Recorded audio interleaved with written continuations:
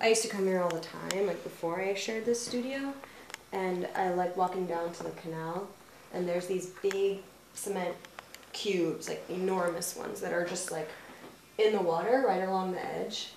And the when the water level changes, they get like half submerged or fully submerged.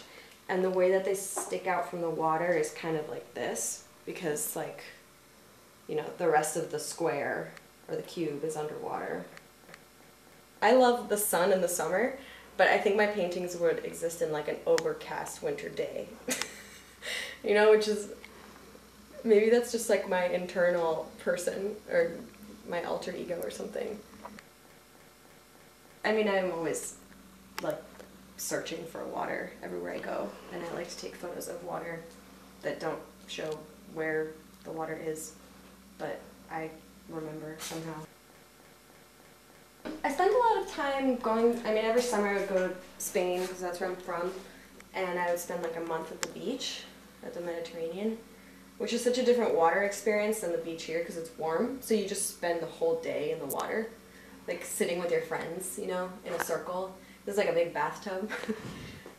so maybe that's why I'm so obsessed with water. I do try sometimes where I'm like, oh my gosh, I'm making the same shape over and over again. But then I realize why I make that shape. I'm like, oh, because I figured out a shape that works. It's like hmm. my visual language, and this this sentence works.